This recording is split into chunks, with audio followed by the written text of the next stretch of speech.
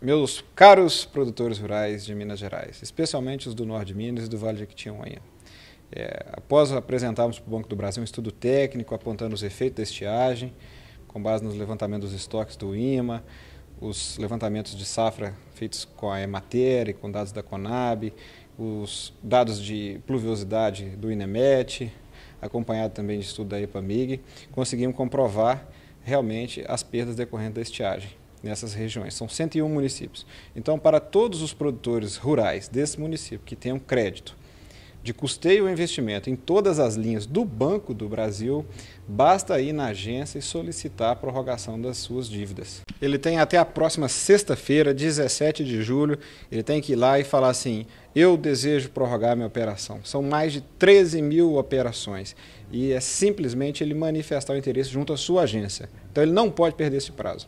Agora, o prazo para pagamento, as operações de custeio vencidas entre 1 de janeiro deste ano até 30 de dezembro deste ano poderão ser pagas em três parcelas a partir do ano que vem, na data do vencimento, e as operações de investimento não será paga a parcela deste ano, será acrescida uma última parcela no contrato ao final do contrato ressalvando que será permanecida todas as condições do contrato, principalmente taxa de juros, que não vai haver acréscimo.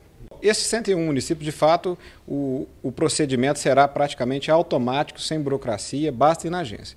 Para os demais produtores rurais das outras regiões que tiver tido perdas decorrendo da estiagem, ele terá que preparar um laudo técnico e fazer a negociação caso a caso na agência.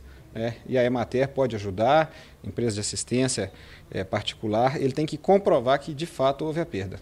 Essa medida ela vem ao encontro desse governo de Minas, preocupado com o produtor rural, preocupado com as regiões de Minas Gerais. Então eu, eu, eu reputo essa, essa, essa conquista como histórica para o produtor de Minas Gerais.